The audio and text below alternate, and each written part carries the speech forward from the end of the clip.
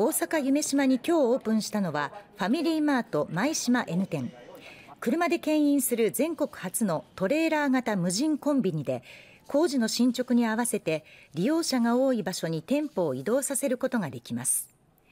およそ280種類の商品をセルフレジで購入することができ